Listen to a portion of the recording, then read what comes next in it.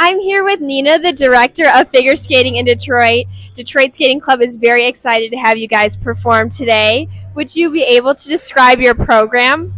Figure Skating in Detroit is a youth after school development program coupled with figure skating to make sure that the girls learn how to be leaders of tomorrow and great overall citizens. What are some of your goals with this program for the girls both on and off the ice? Some of our goals include, like I said, leadership, development, entrepreneurship. We want these girls to be whatever they want to be, whether that's a figure skater, a doctor, a lawyer, a teacher, whatever they want, whatever they dream. What advice have you guys given these skaters in pursuit of these goals? One, dream big. And two, you can be anything you want to be. And three, if you fall down, you can get right back up. What music are you guys performing to today? Well, we have two teams. Our junior performance team is performing to Shine, and our senior performance team is performing to a song called Just for Now. How excited are you guys to be here today? Absolutely excited. You know, Detroit Skating Club is our home, so we feel very, very secure and welcome. We're excited. Thank you for doing the interview, and uh, we appreciate you being here. Absolutely. What was your guys' favorite part about performing today?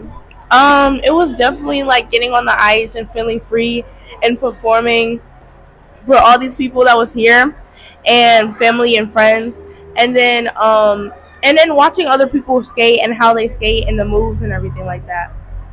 I like just like not no not worrying about falling and just getting back up and yeah. I noticed that your coach said that you were a bit nervous before the program. How good did it feel after you performed kind of getting over that fear? It felt good because like i heard the crowd like really excited and like like glad that I came. So like I just felt really excited. What is an important lesson you've learned from skating? Uh, discipline, patience, everything like that. It's like if you don't get something or you lose move or something, you have to keep on going and you have to kind of skate with. If you forget something, you have to skate with lower moves and still ace the whole crowd and make the crowd clap for you. Thank you guys so much, and we so appreciate you being here today. Thank you, Thank you guys.